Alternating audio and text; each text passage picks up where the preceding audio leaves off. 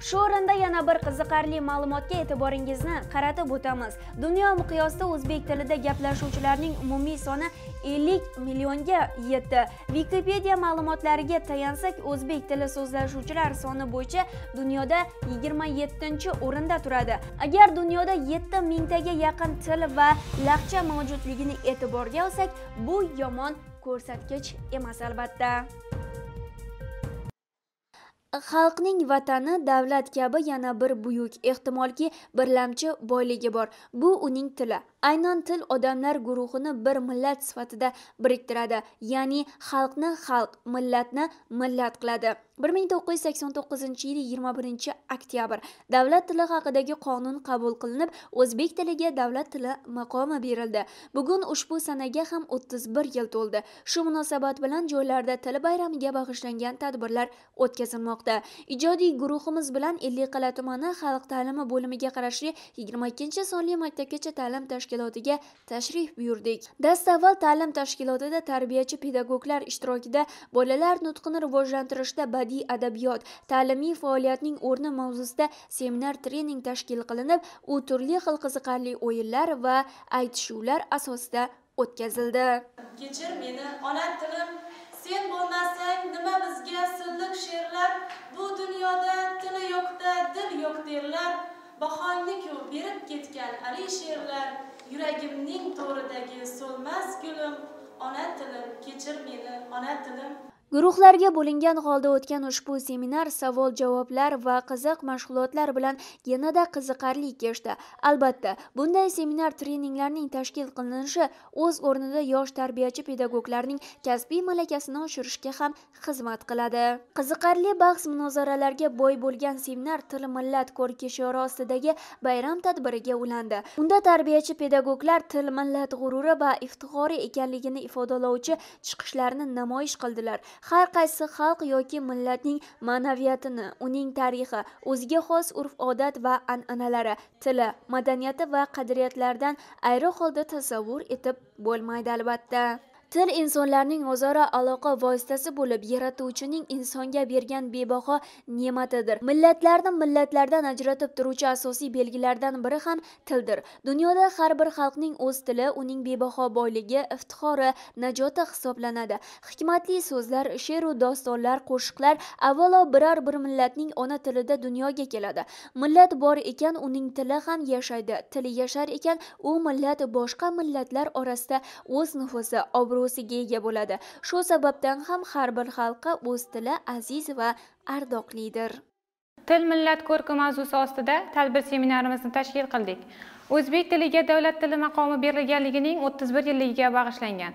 Bugun maktabgacha ta'lim tashkilotimizda olib borilgan seminarimizni o'tkazishimizdan maqsad e, maktabgacha ta'lim yoshidagi bolalarda o'tkaziladigan ta'limiy faoliyatlarda badiiy adabiyotning o'rni e, ularning hayotidagi badiiy adabiyotning o'rni va ahamiyatini keng ma'noda tushuntirishni asosiy maqsad qilib oldik.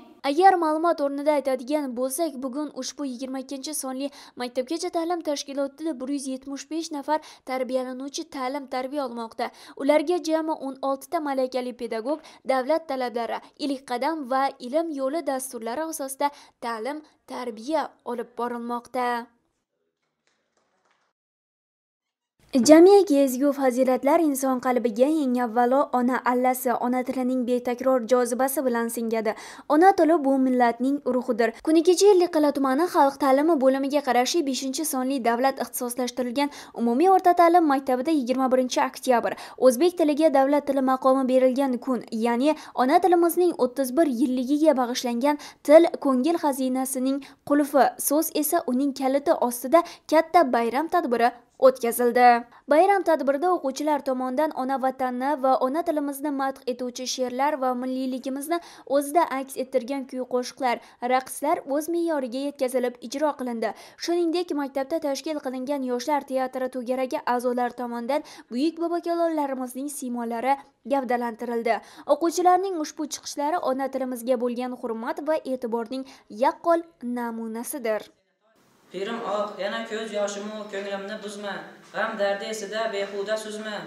Ko'z yoshi xavflidir g'arq aylagay bot o'chirmas til o'tin ko'z yoshi hayhot. So'zga chiqqanlar til millat ko'zgusi ekanligi shuning uchun ham har bir inson o'z ona tili va milliy an'analarini qadrlashi shart va zarurligini alohida ta'kidlab o'tdilar. Ta'kidlash kerakki til xalqning yagona bir millat sifatida milliyligini o'zligini madaniyatini ko'rsatuvchi ko'zgudir. Millatning borligi va birligining bosh belgisi til hisoblanadi. Shuning uchun ham biz o'zbek tilini ona tili sifatida ulug'laymiz e'tirof etamiz. Bu kabi bayram tadbirlarining keng nishonlanishida ko'zlangan asosiy maqsad o'quvchi yoshlarni milliy tilimizning qadriga yetish uni asrab avaylash e'zozlash va uning go'zalligi sofligi tozaligi qudrati ravnaqi uchun kurashish yuksak insoniy burch ekanligini anglab yetishlariga ko'maklashishdir.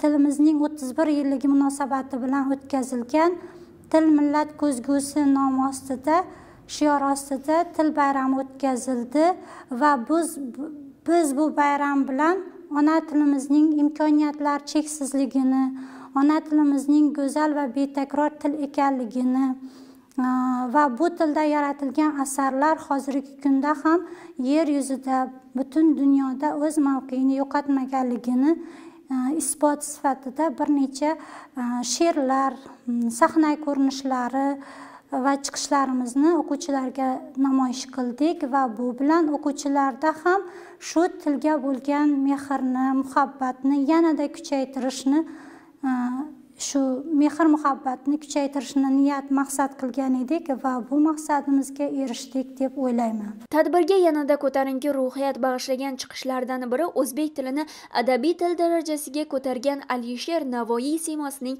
sahnada gavdalanishi bo'ldi. Bir so'z bilan aytganda milliy g'oya targ'ibotida ona tiliga muhabbat tarbiyasi muhim o'rin tutadi. Yurtboshimiz e'tirof etganlaridek inson qalbiga barcha ezgu fazilatlar til vositasida singdirilar ekan. Demak ona tiliga e'tibor faqat til bayrami kunlaridagina emas har kuni har daqiqada davom etishi kerak. Shundagina o'zbek tili kundalik hayotda ham adabiy hayotda ham doim yuksalishda va rivojlanishda bo'ladi.